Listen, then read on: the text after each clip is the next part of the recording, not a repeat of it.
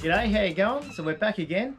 It's Richard from Off-Road Touring Life. Now in this video it's not so much a how-to video, it's a more of a video of what you need to turn your jerry can into a gravity fed system. So when you are at camp you can actually leave your jerry can in the back of your car or if you've got a wagon like myself or in your canopy.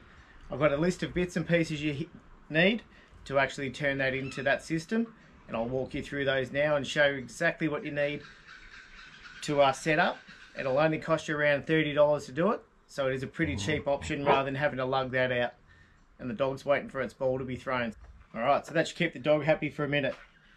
Now firstly we'll start from the end of the jerry can. So obviously at the bottom here you have a water outlet there or you can even fill it from it if you want to. Once this is done I'll show you that. But you, you can take this off here, little plug at the end. So what you do need is a 20 mil BPA thread and it has a 13 mil barb on it. So you'll find this in the, uh, this is from the gardening section in your local hardware store.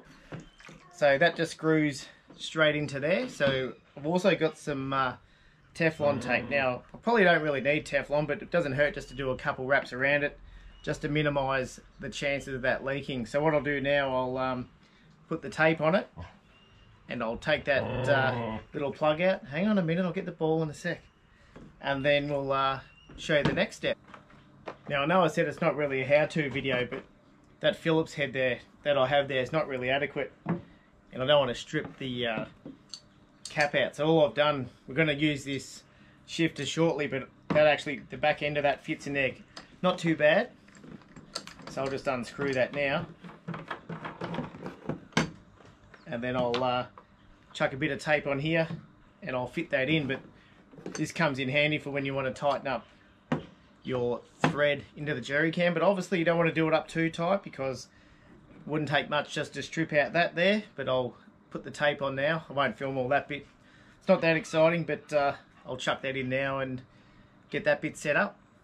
So earlier on I mentioned about this thread here so your 20 mil BPA and I'll talk you through the other um, parts that you'll need as well.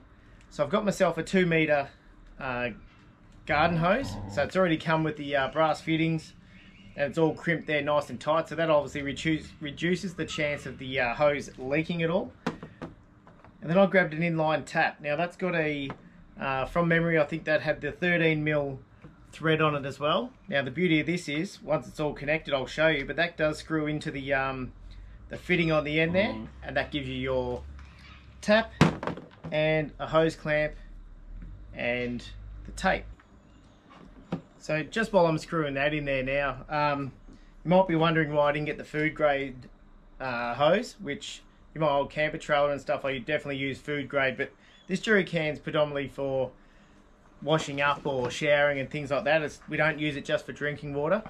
We prefer to buy the uh, 600ml bottles and then we, for waste when we're away, we actually squash the bottles down, screw the lid on so you don't have big plastic bottles everywhere. But just for drinking water. We don't always use these. Of course, if we need an emergency, we have got it, but that's why I've just used the garden hose before any of you wonder why I haven't used it. It's because we normally do it with the uh, with the water bottles that you buy, and they're relatively cheap now. Yep. And I'll just throw the ball to the dog again. I'll be right back.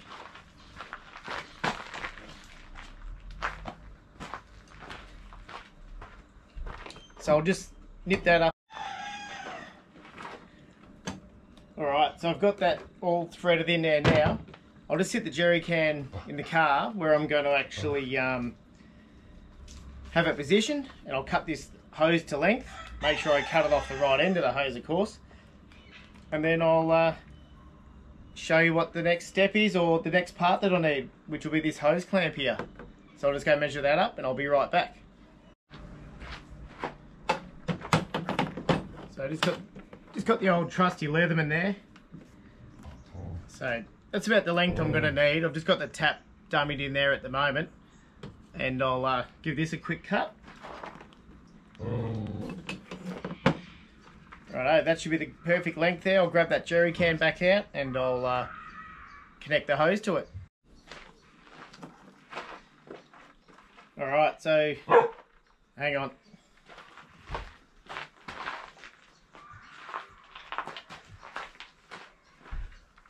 Alright, so that's the hose clamp I've got there. Um, pretty sure it's the right size. If not, I'll go back through my kit and see what, what else I've got. But this is just one I had sitting at home. So basically, I've just cut the hose off there. I'm to slide that on. Like that. And I'll get the screwdriver out the Leatherman. Tighten that up. But before I do do that, I'll show you this hose fitting. So, hang on, Scout. So I got this fitting here, which comes with the uh, which comes with the hose, obviously. It's already connected to it, so that's that's good. And then I can just screw that tap on. So nice and simple, just an inline tap there. And the other luxury is as well, if you want to, you can even get a connection, get a connector and leave it in your car, or if it's mounted permanently in your canopy, etc. You can actually fill that up from the bottom up, but of course you want to be keeping an eye on the top and not make sure that you don't uh, overfill it. But I'll uh, go ahead and tidy, uh, tighten up that hose clamp now and uh, do a test run and see how it all goes. Make sure I've got no leaks. I've got that hose clamp on, the hose is on, and I'll just pop this uh, tap in now and then I'll fill it with water and see how we go. So those of you with a keen eye will notice that I've swapped jerry cans. So I swapped it out with the 18 litre Pro Quip for the 22 litre. So the beauty of this is quite simple to swap from jerry can to jerry can depending on your trip and how much room and all that sort of stuff. So it's quite a versatile little uh, setup. So as you can see, it all works well. I'll probably leave water sit in it for a, a, day or two and I'll swirl it around to make sure that I don't have any leaks. But it's just a matter of having the jerry can higher, obviously, turn it on. And then there's your water. So no more lugging this thing in and out of the car when I'm away on weekends. And for a cheap $30 mod, it's nice and easy. 20 mil to 13 mil barb with a garden hose the hose clamp, which most people have probably got lying around anyway, and the inline tap, which screws neatly into the tap, tap fitting. So nice and simple. So, and for those of you wondering who was all that barking carrying on in the background, this is her here, our Kelpie. So she's been in a couple of videos, but um, yeah, obviously loves her ball being thrown. So we'll see you all next time. Cheers.